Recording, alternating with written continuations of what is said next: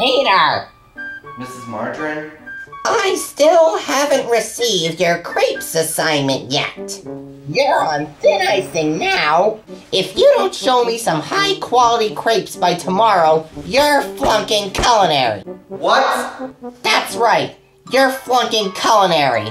Unless I get some good crepes with bananas and chocolate syrup.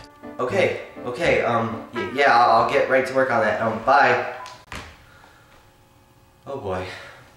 Hmm. Better get to work. Those crepes don't cook themselves, you know. this assignment is gonna be easy. I could just kiss that future F goodbye. I mean, all I really need is two large eggs, three quarters of a cup of milk, one half cup of water, one cup flour, three tablespoons of melted butter, and something to oil the pan with. How hard could it be? Maybe I should use less heat next time. well, that's not too bad. I just wish it were bigger.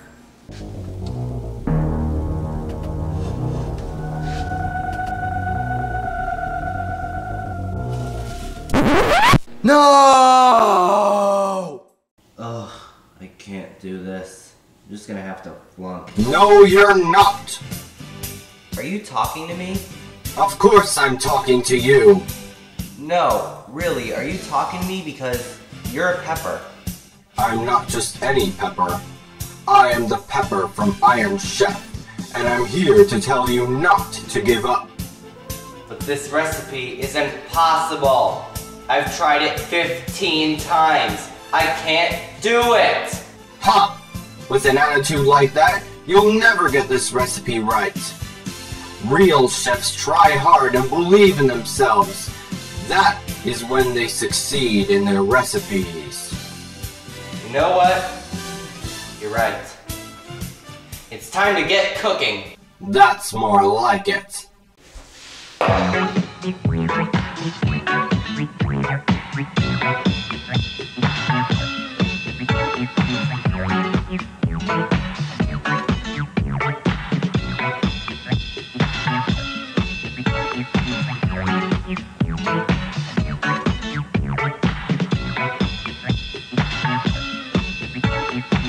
Alright, Mr. Frying Pan, get ready, because grease is the word.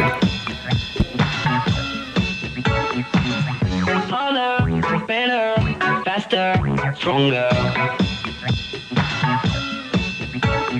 More than power, power, never.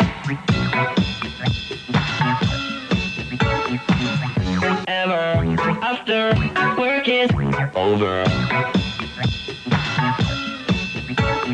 Work it, make it, do it, makes us